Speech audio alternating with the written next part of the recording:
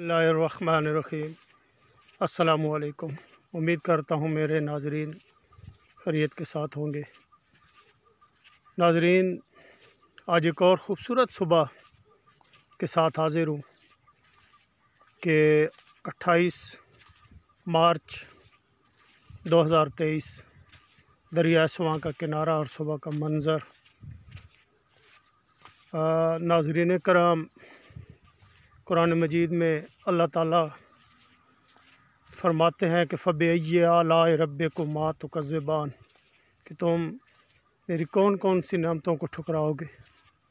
तो आप देख सकते हैं कि अल्लाह ताला ने अपने प्यारे बंदों के लिए बहुत ही प्यारी प्यारी चीज़ें तख्लीक की हैं। अब अगर हम यहाँ पे ही इनका शुमार करने लगे तो नहीं कर सकते। लातादाद चीज़ें जो है, नामतें जो हैं, नज़ारे जो हैं, वो हमारे लिए बिखरे पड़े हैं। तो नाजरीन, ये सुबह आप देख रहे हैं कि हल्के हल्के बादल भी हैं। ये एक खुद रो पौधों की लाइन आप देख रहे हैं कि बिल्कुल आगे तक चली गई है। और ये किनारा है जी, रेत है।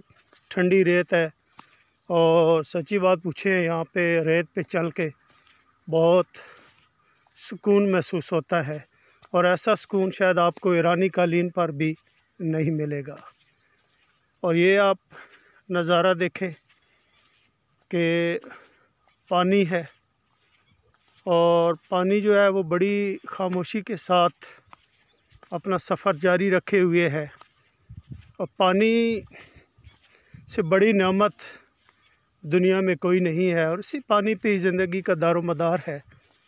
इसी सी पाकिजगी और तारत हासिल होती है। पानी ज़िंदगी है और हमें इसका इस्तेमाल बड़ी समझ बूझ के साथ करना चाहिए और इस नामत को संभालना चाहिए, क्योंकि आजकल दुनिया में पानी के बहुत ज़्यादा मसाइल हैं और हमें तो ये अल्लाह ताला ने वाफिर ज़ख़ीरा दे रखा है। जो आप देख रहे हैं कि ताद निगाह बह रहा है। और नाजरीन, आज हम जो सबसे खूबसूरत मंज़र देखने वाले हैं, वो यहाँ पे दरिया के किनारे सूरज का तुलू होना है कि सूरज, अल्लाह ताला ने सूरज की एक ड्यूटी लगा रखी है कि जो सारा दिन मुनवर करने के बाद शाम को फिर गरूब हो जाता है।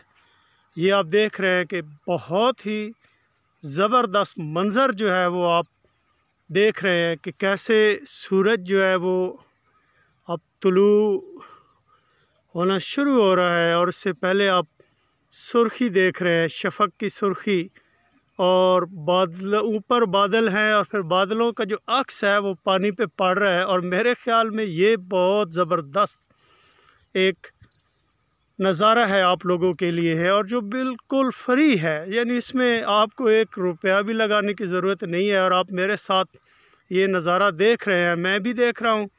और मेरा ये सच्ची बात है, ये दिल कर रहा था कि अपने प्यारे नाजरीन को इस मंज़र से लुफानंदोज़ करवा सकूँ।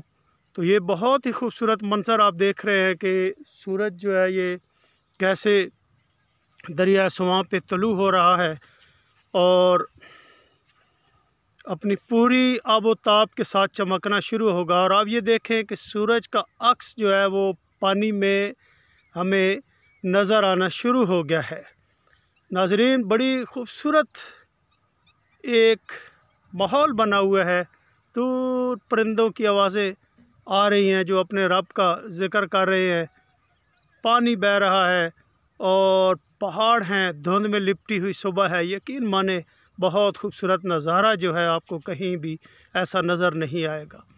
बेहतरीन सुकून मैसर होता है यहाँ पे और ऐसे नज़ारे हमें बहुत कम मिलते हैं। सच्ची बात है, बहुत ही पुरसकून जगह है, गाँव है और गाँव में माहौल जो है वो बिल्कुल साफ़ सुथरा होता है।